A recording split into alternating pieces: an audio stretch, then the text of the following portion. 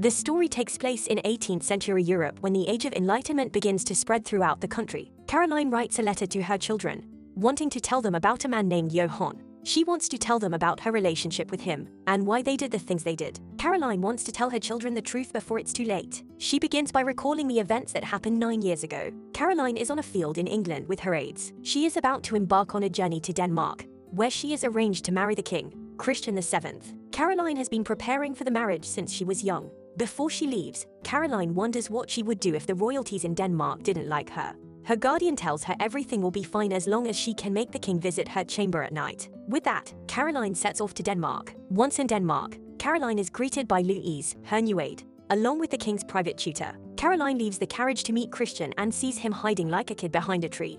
They greet each other, and Caroline rides with Christian back to the palace. Caroline eagerly waits for Christian to speak, but he doesn't. Instead, he simply looks at her chest with a slight disappointment on his face. Caroline notices what he's doing but stays silent. Christian averts his eyes, and the atmosphere between them throughout the journey remains tense and extremely awkward. When they arrive at the capital, Caroline notices the terrible state of the place and its people. On the other hand, Christian doesn't seem to care and is simply focused on amusing himself until they arrive at the palace.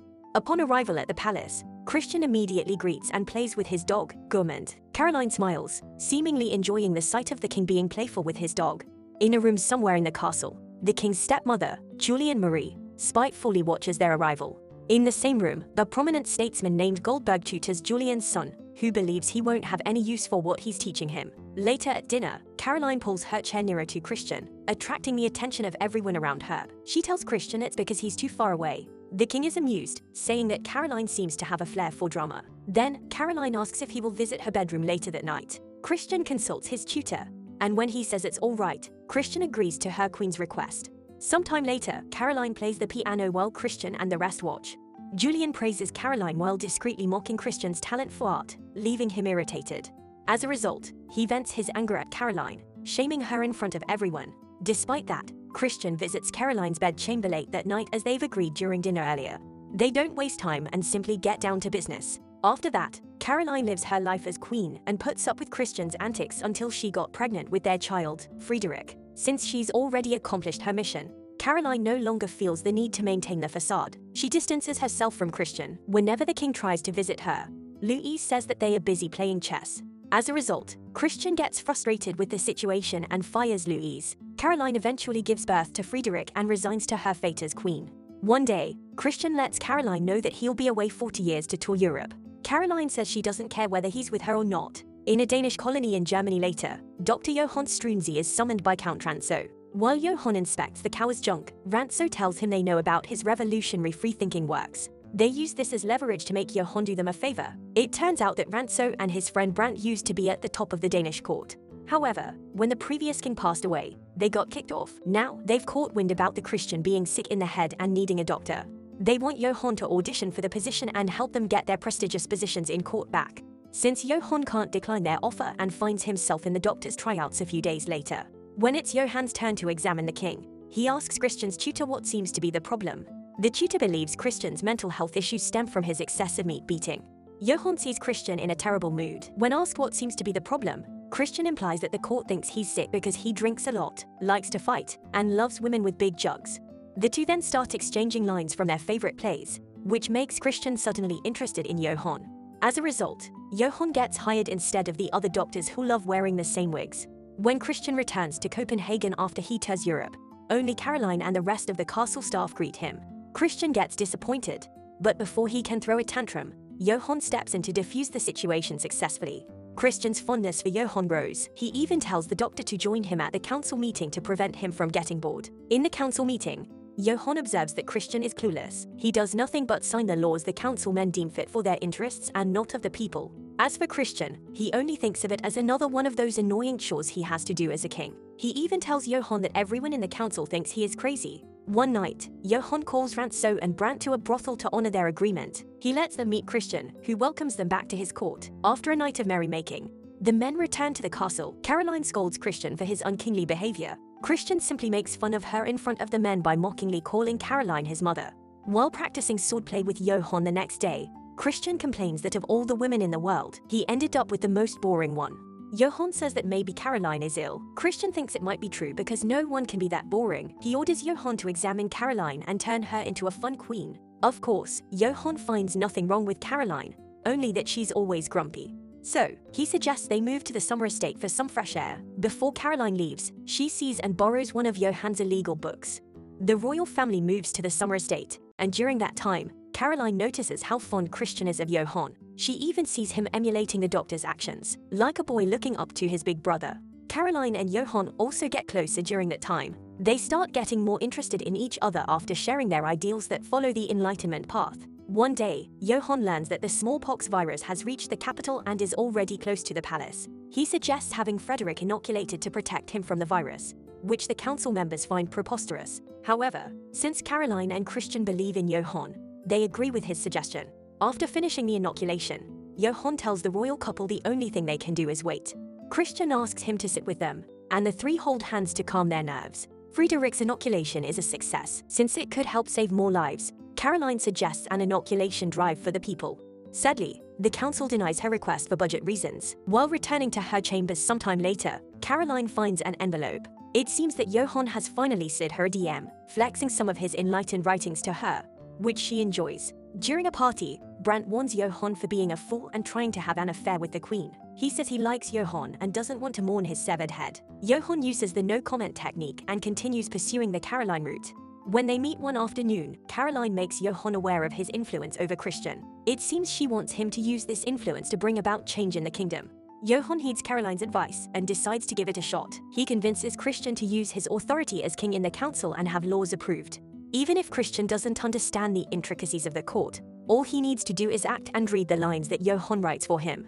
They try their plan during the next council meeting, and Christian surprises the council members, leaving them in awe. He manages to pass the law to triple the number of waste collectors on the streets. He also doesn't forget to make his dog an honorary council member. During a masquerade ball, Johann and Caroline share a dance. By the end of it, Johann gets cold feet and leaves. Caroline follows him, and they finally let their feelings take control by sharing a kiss.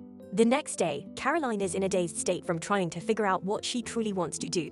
Eventually, she decides to slide Johann a DM. After reading her letter, Johann goes to the palace kitchen, locking eyes with a young boy as he enters a secret passage. The passage leads to Caroline's bedroom, and once there, the two give in to their base desires.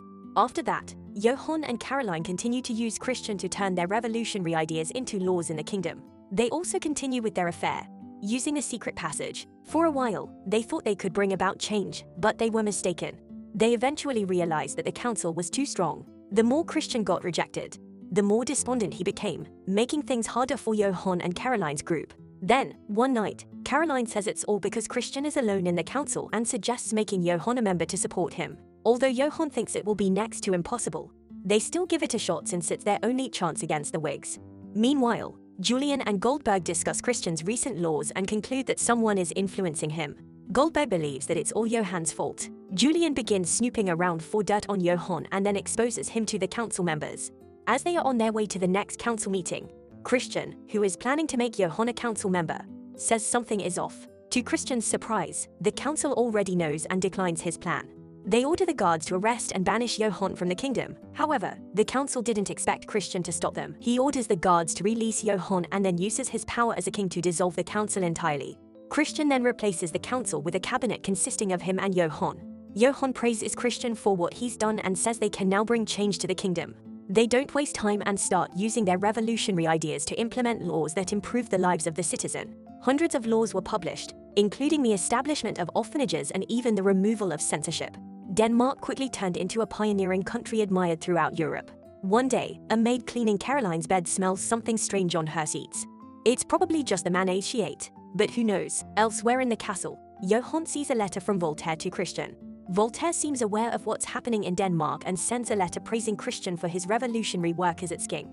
Johann is excited about Voltaire's letter and shows it to Caroline. However, he becomes speechless after Caroline reveals she's pregnant with his child. To salvage the situation, the two decide to make Christian resume his visits to Caroline's bedchambers. They plan to make it so people would believe Christian is still the father of Caroline's new child. On top of that, they also decide to stop seeing each other privately. While working, Christian tries to have some fun as usual, but a frustrated Johann screams at him. Quickly realizing his mistake, Johann apologizes and asks Christian to sign a law. allowing him to approve laws without needing Christian's signature. He tells Christian it's a way to free him from his boring paperwork duties as king. Sometime later, Rantzau and Johann have a falling out after Johann fails to help Rantzau with his debts how he wants him to. Then, one afternoon, Julian sees Johann and Caroline acting a little too familiar with each other. She realizes that they have an affair with each other and that Caroline's child is actually Johann's. She immediately starts investigating. And one of the maids, the one who was cleaning Caroline's bed earlier, decides to reveal the mayonnaise incident. Caroline finally gives birth to a baby girl named Louise, and everyone in the castle is excited. She sends everyone away except Johann so they can spend time with their child.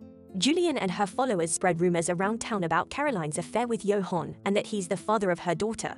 Christian gets wind of the rumors and runs amok in his favorite brothel.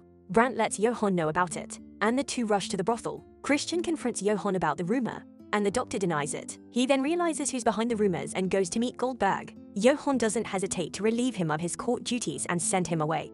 For damage control, Johann tells Christian to stay inside the castle. He assigns the young boy from the kitchen from earlier to be Christian's companion. He also leaves Brandt with him, an idea Christian dislikes. Sadly, things worsen, leaving Caroline and Johann at their wits' end. Johann is even forced to reinstate censorship in the country to prevent the spread of more rumors about their affair. One day, Caroline freaks out after seeing Christian play with Louise. She lashes out at him and tells him he'll never be alone with the child again. Frustrated, Christian eventually snaps and gets into a scuffle with Brandt during dinner. Johann manages to stop them and talk some sense into Christian. The two hug each other, and Christian says he wants everything to return to what they were before. Meanwhile, Julian and Guldberg put their plans to overthrow Caroline and Johann into motion. They even manage to bring Rantzau into their cause, promising to remove all his debt, give him a seat at the council, and the assurance that Johann will simply be deported and nothing more. They also manage to rouse the citizens to want to see their king, who hasn't appeared for a long time. Johann asks Christian to show himself to appease the people, but he declines. Instead, he isolates himself and lets Johann handle the problem. As things start to escalate and put pressure on Christian, Guldberg meets with him. He manages to force him into signing the arrest warrant of Caroline, Johann, and Brandt. Julian takes Friedrich from Caroline but leaves Louise with her since she still needs her mother. As for Johann, he gets mistreated in prison until he confesses to his affair with Caroline and conspiring against the court. After several days, Caroline learns that Johann has confessed to his crimes after days of being mistreated. She sends a letter to Christian containing a plea to pardon Johann and Brandt. Later, a priest visits Johann in the dungeons to hear his final confession. While that happens, Christian is uneasy while talking to Guldberg. He's wondering where the people are going and asks if Guldberg is sure the execution isn't on that day, and Guldberg says he is sure. It turns out that he plans to pardon Johann and Brandt at the last minute to surprise them. He's wondering if they will get mad at him, and Guldberg says no. Johann and Brandt get taken into a carriage for their execution. They believe it's only a formality since they've been made aware that Christian will pardon them. Johann says it's a way to show the people that their king is merciful. When they arrive at the execution site, Johann immediately realizes they won't get pardoned. Brandt gets executed first, and when it's Johann's turn, he looks at all the people in front of him before his head gets cut off. Caroline breaks down after hearing the news about Johann's execution. Rantzau confronts Guldberg for breaking his promise to only banish Johann and give him a seat in the council. As for Christian, they treat him as a decoration and ask him to play with his companion all day. Caroline says goodbye to her daughter and lives in Germany with her old friend and aide, Louise. She starts to live out her days there and eventually gets ill. Before passing away, she gives Louise her letters and tells her to hand them over to her children when they are old enough to understand. Time passes, and as the rest of the world moves forward to progress, Denmark regresses to the Middle Ages. Friedrich and Louise Augusta ride a carriage and meet up with Caroline's aide. She gives them Caroline's letter, and they learn the truth. When they return to the castle, the children talk to Christian. With the help of his father, Friedrich stages a coup d'etat and seizes power at the age of 16. He also banishes Julian, Guldberg, and their cabinet from the court. In Friedrich's 55-year long reign, almost all of Johann's laws were reinstated. Friedrich goes even further than Johann and completely abolishes serfdom in the country, liberating the peasants. Subscribe for more videos like this. Turn on notifications and leave a like. It really helps the channel.